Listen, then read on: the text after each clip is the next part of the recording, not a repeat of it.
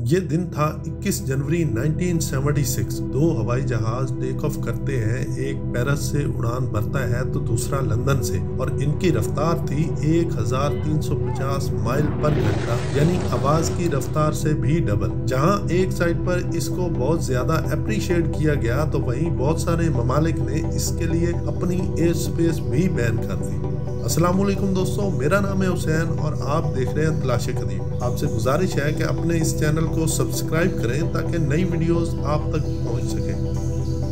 इंसान जितना तेज सफ़र कर सके, करे। एक मकाम से दूसरे मकाम पर जितना जल्दी जा सकता है, जाए। इसी ख्वाब को लेकर एक ऐसा हवाई जहाज़ बनाया गया जिसका नाम था कॉनकॉर्ड। इस जहाज़ को देखने से लगता था जैसे उकाब हो। डिप नोज़, लंबी बॉडी, चौड़े विंग्स और घन गरज इतनी के इंसान को हैरत में डाल देता था।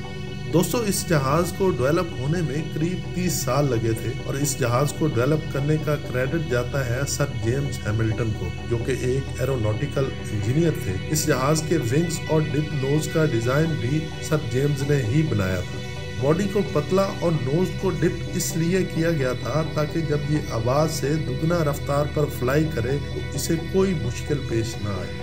इसकी पॉजिटिव साइड ये थी कि इसको बहुत ज़्यादा पसंद किया गया। वहीं पर जहाज़ एयरलाइनर्स के लिए कुछ प्रॉब्लम्स भी क्रिएट कर रहा था। क्योंकि इनका ख्याल था कि कॉनकॉर्ड हवाई जहाज़ चलाने में बहुत ज़्यादा कॉस्टली है, क्योंकि इसकी एक घंटे की फ़्लाइट के लिए 22 घंटे की मेंटेनेंस चाहिए थी। और इसमें सबसे ज़्यादा मसला था इसके कूलिंग मैकेनिज्म का। जहाज़ को इतना तेज उड़ाने के लिए कूलिंग पर बहुत ज़्यादा काम करना पड़ता था और इसकी मेंटेनेंस भी काफ़ी ज़्यादा महँगी थी। दूसरी वजह थी इसका फ्यूल का खर्चा। कॉनकोड तेज उड़ने के साथ साथ फ्यूल भी बेतहाशा कंज्यूम करता था। इसी वजह से एयरलाइनर्स का ख्याल था, ये सिर्फ़ लीड क्लास की फ़्लाइट है। इसके साथ साथ कॉनकोड हवाई जहाज़ जैसे ही साउंड बैरियर क्रॉस करता था तो एक बूम की आवाज़ क्रिएट होती थी।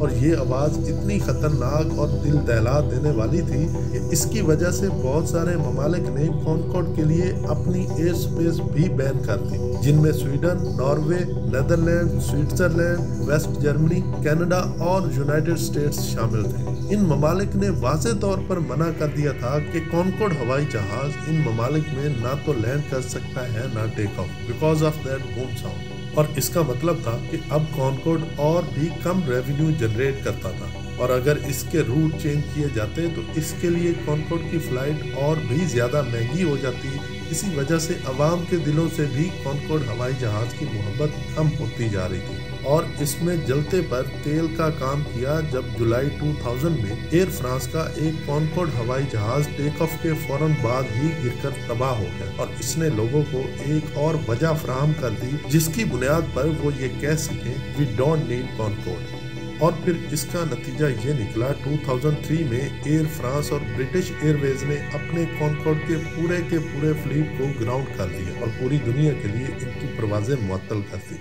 दोस्तों कॉनकोड को ग्राउंड किए 20 साल गुजर चुके हैं और अब इन दो डेकेट गुजरने के बाद भी हमारे पास अभी तक कॉनकोड की कोई रिप्लेसमेंट नहीं है। ऐसा भी नहीं है कि हम सुपरसोनिक जहाज़ चाहते नहीं। बल्कि पूरी दुनिया में कुछ कंपनीज़ अभी भी इस पर काम कर रही हैं। इसके तीन मेन इश्यूज़ को हल करने की कोशिश की जा रही है। नंबर वन स्पीड यानी अगर कॉनकोड से ज़्यादा ना हो तो इसके बराबर होनी चाहिए। नंबर टू फ्यूल और ये एक मेन मसला है। नंबर थ्री नॉइस यानी इसका जो साउंड है वो ख़त्म कर दिया जाए या कम अज़ कम इतना कर दिया जाए ताकि कोई भी कंट्री आपको बैन ना कर सके। और इसके लिए बहुत सारे तजर्बात किए जा रहे हैं।